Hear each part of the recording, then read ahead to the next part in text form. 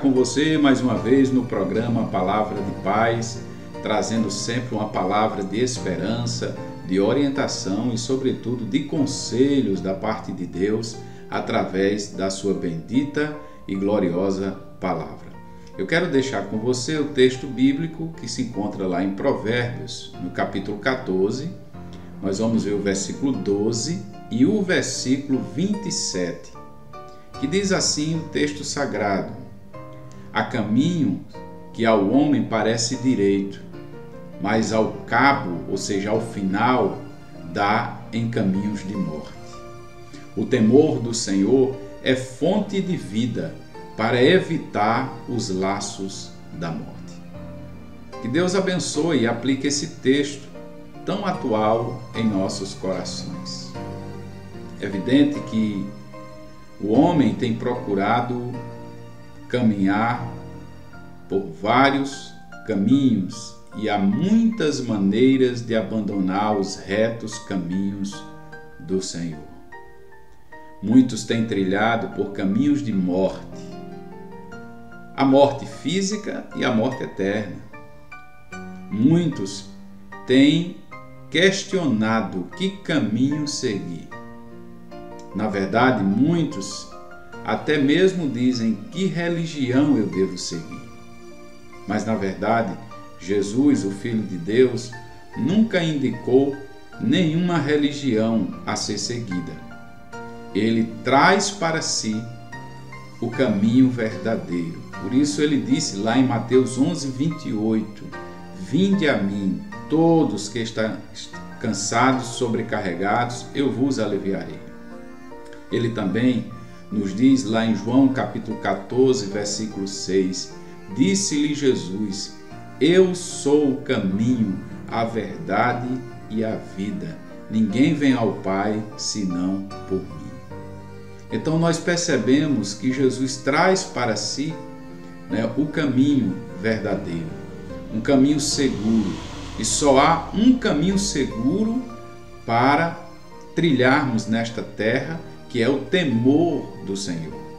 O temor do Senhor, a Bíblia diz que é fonte de vida, é ter reverência com o nosso Deus. A Bíblia diz para evitar os laços da morte. Quantos não têm caminhado por caminhos tortuosos, caminho das drogas, da violência, do roubo, da, da maledicência? Quantos não têm caminhado ou trilhado pelos seus próprios caminhos, dizendo que os seus caminhos ou o, o caminho que eles estão trilhando é um caminho bom. Quantos estão, na verdade, enganados, é, caminhando por caminhos tortuosos e achando que estão no caminho certo? A Bíblia diz que há aos homens, né, alguns caminhos parecem direito, né, há caminho que ao homem parece direito, ao seu olhar humano, mas a Bíblia diz que no final deles são caminhos de morte, morte física e morte eterna. Por isso, só há este caminho seguro a seguir. E este caminho não é uma religião, não é um pastor, não é um líder, mas sim Jesus, o Filho de Deus, porque Ele é o caminho, a verdade e a vida. Ele é o caminho que nos leva a Deus, Ele é a verdade ele é a vida eterna que nós necessitamos. Por isso, abra o seu coração e viva na presença de Deus, no temor do Senhor, porque é fonte de vida.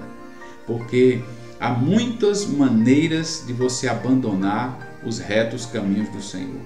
Mas saiba que só há um caminho seguro, temer ao Senhor.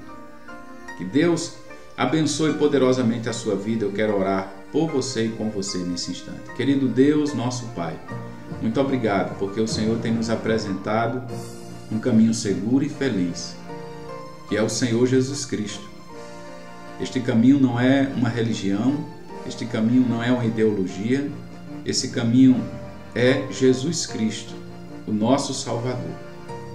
Ó Deus, que o Senhor retire de nós todo sentimento ruim tudo aquilo que nos leva a caminhos tortuosos. Que o Senhor possa endireitar as nossas veredas e nos ajudar a entender o caminho da verdade. Fica conosco, nos abençoa em nome de Jesus. Amém. Deus abençoe a sua vida, Deus abençoe o seu lar e até o nosso próximo encontro. Fiquem com Deus.